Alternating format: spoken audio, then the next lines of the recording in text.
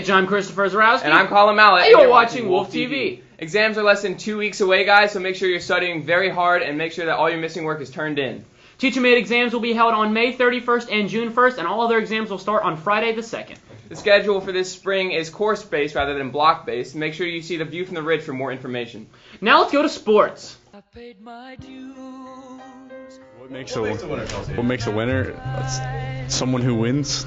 Someone who works hard to achieve their goals is a winner.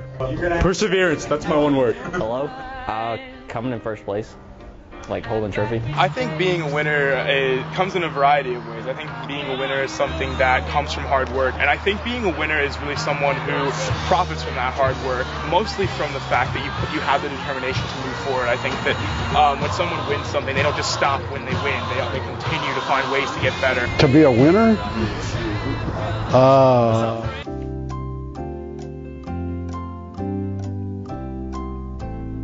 being a winner means to me means doing everything right. Um, I don't think it necessarily means winning on the field. I think it means winning at the game of life. Just like I tell the football players, you know, you want to get better every day. You know, it's either you get better or you get worse. Winners get better every day.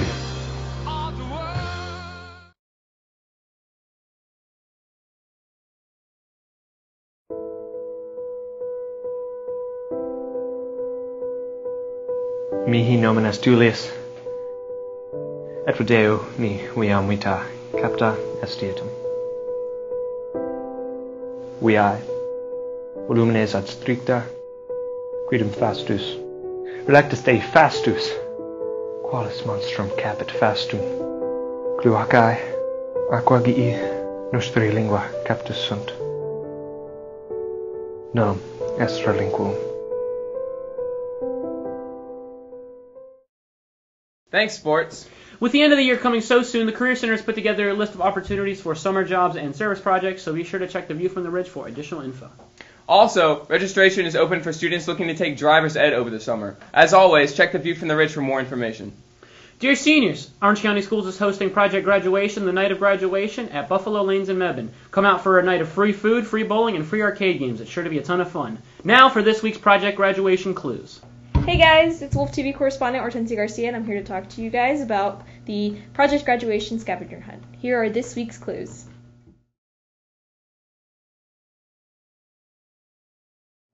So the scavenger hunt is for seniors only, but if an underclassman finds a clue, they can give it to a senior or they can leave it where it's at. Um, clues will be given on Wolf TV once a week, so stay tuned. And they can only be claimed during lunch or in between classes. Now, when you have a clue, you have to bring it to Project Graduation on June 9th from 9 p.m. to 1 a.m. So there will only be 10 clues given out.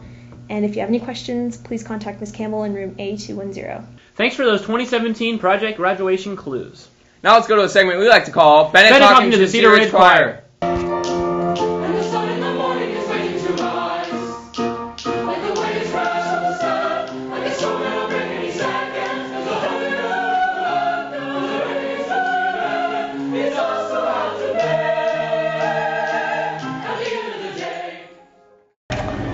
my name is Evan Woody, and this is my second year doing the Pops concert.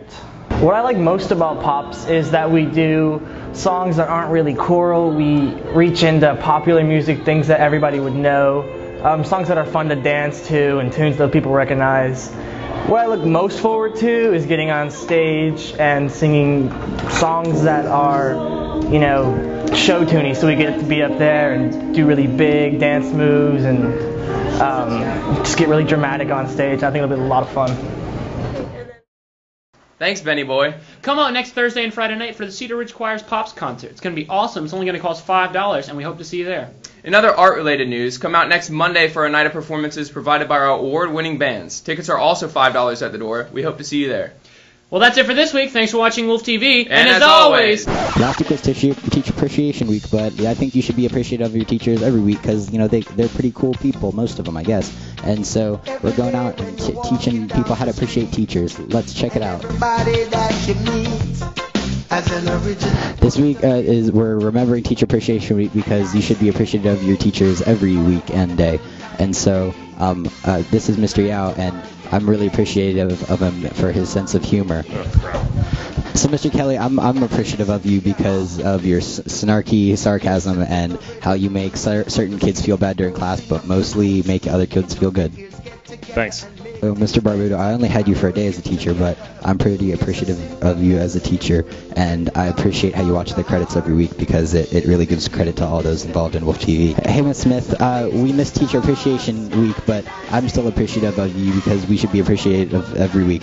Uh, I'm here with Miss Barnhart and Mrs. Lamana, who also happens to be the wife of one of my favorite teachers. I'm appreciative of Mr. Probert because he taught us cool science stuff and took us outside, and he's also a rad storyteller and probably a rad dad with rad boots.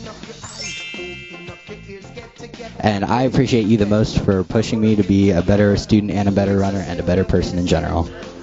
I appreciate you, best boy. You're the best. And I appreciate Miss Barnhart because she always had a great sense of humor, and she taught me a lot about English, and she has hearing like a bat, uh, which sometimes wasn't appreciated. Um, hey, hey, Miss Danku, I'm really appreciative of you as, as a teacher because you taught us all about our brains and like monkeys' brains and stuff. And I appreciate Miss Lamana for um, being married to Mr. Lamana because if if marriage is with Mr. Milana is like anything I imagine, it's it's very loud. So, and great. Andy's gonna that. Really? hey, I've appreciated all the teachers that have, have taught me here at Cedar Ridge, and even the ones that haven't, because most teachers are cool. And now it's time for me to leave, go on my own adventure, find my own teachers, maybe become my own teacher. Who knows?